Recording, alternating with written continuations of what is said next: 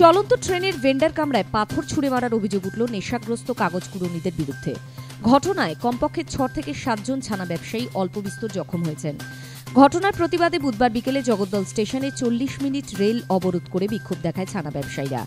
জানা গিয়েছে, প্রতিদিন বিকেলে ডাউন গেদে লোকালে ব্যবসায়ীরা ভেন্ডার কামরায় ছানা নিয়ে শিয়ালদা যান। অভিযোগ কাকিনাড়া স্টেশন থেকে কয়েকজন নেশারু কাগজ কুড়ুনি উঠে বস্তা ছানার মধ্যে ফেলে দেয়। এই নিয়ে মাঝে মধ্যেই ছানা ব্যবসায়ীদের সঙ্গে কাগজ কুড়ুনিদের ঝামেলা হয়। বুধবারও কাগজ কুড়ুনিদের সঙ্গে ছানা ব্যবসায়ীদের ঝামেলা হয়। আক্রান্ত ছানা ব্যবসায়ীদের অভিযোগ, কাকিনাড়া স্টেশন ছাড়তেই ওরা রেললাইন থেকে ভেন্ডার কামরা লক্ষ্য করে এলোপাথারি পাথর ছুটতে থাকে।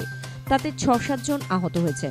এরপর জগদ্দল স্টেশনে ট্রেন থামতেই ছানা ব্যবসায়ীরা নেমে রেল অবরোধ শুরু করেন। অবশেষে আরপিএফ এসে ব্যবসায়ীদের সুরক্ষা দেবার পাশাপাশি যথাযথ পদক্ষেপ নেবার আশ্বাস দিলে তারা অবরোধ তুলে নেয়।